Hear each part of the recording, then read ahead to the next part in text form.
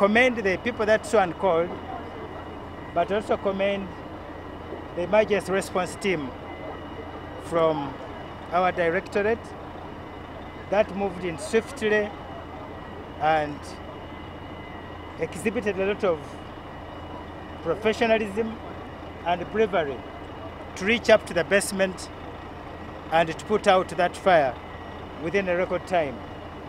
The moment they swung into action, within a matter of 10 minutes, we had reached the point and the fire was engaged and within 20 minutes, the job was done. So we do not know what has caused that fire, but we are going to check on that very vehicle to establish where the fire started from and what could have caused it. But as of now, the building is safe and I declare it free for occupation.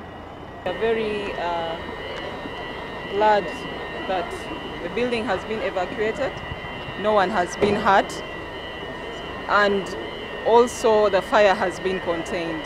So we know that at least within the next uh, few minutes, we should be able to ascertain the actual cause of the fire. But we are very grateful to Uganda Police for their quick response.